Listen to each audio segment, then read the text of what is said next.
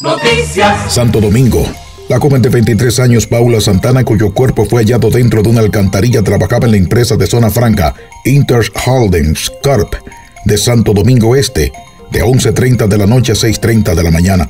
La madre de la fallecida expresó que un compañero de trabajo era quien la acosaba. Ella, la menor de cuatro hermanos. Paula Santana lo reportó a recursos humanos, pero no le hicieron caso. Según Escalante, le sugirió a su hija que dejara el trabajo porque era de noche, pero Paula le explicó que no podía renunciar porque con eso era que estaba pagando sus estudios y la casa, además que en la zona franca había seguridad. Entre llantos, la madre de la joven muerta dijo, mi muchacha me la violaron, me le dieron golpes, me la mataron y después la echaron en una cuneta. ¿No entienden el dolor mío? Ayúdame Dios.